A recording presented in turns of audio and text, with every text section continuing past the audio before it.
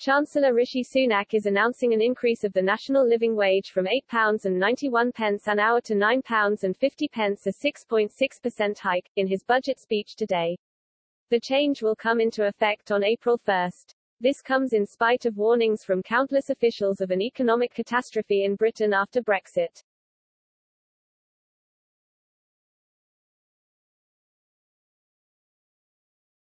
Meanwhile, political figures in France are asking why similar measures can't be undertaken in their country, and are blaming the EU.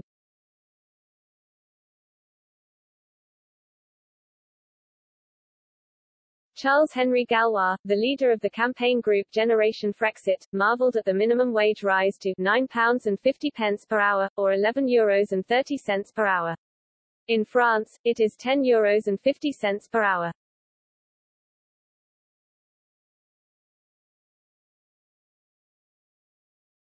Contrary to the promises of the candidates for the 2022 presidential election, the EU and the euro are preventing a sharp rise of the minimum growth wage SMIC in France, he said.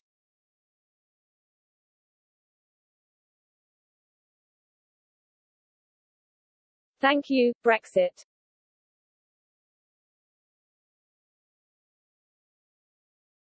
Our readers share this sentiment.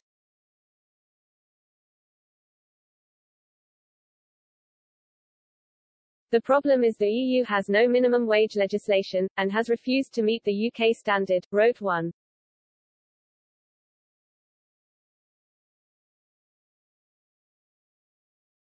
It turns out that the EU's demands for a level playing field doesn't count when it comes to wage costs.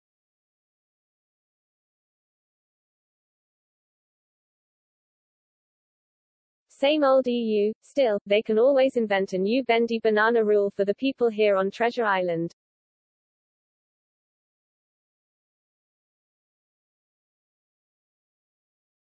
Another reader highlighted that it's not just a minimum wage the UK has but the EU doesn't.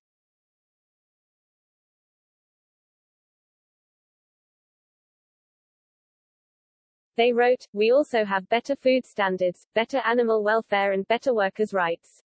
But the Remainers always tried to claim we would have worse standards.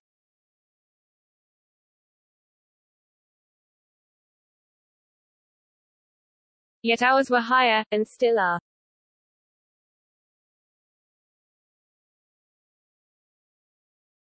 The EU only exists to protect German and French industry. Oh and try to get as much land as possible by promising the Baltics milk and honey.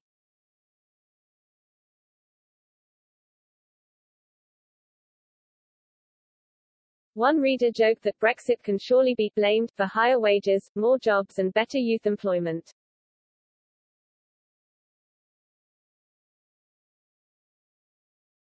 I hope all Brexiteers take responsibility for this and live with the consequences of their actions.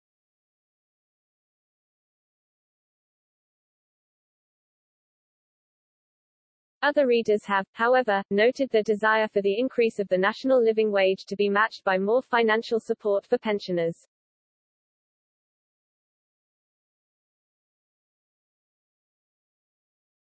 Pensioners would love to receive the living wage, but no, they have to live on far less, wrote one disaffected reader.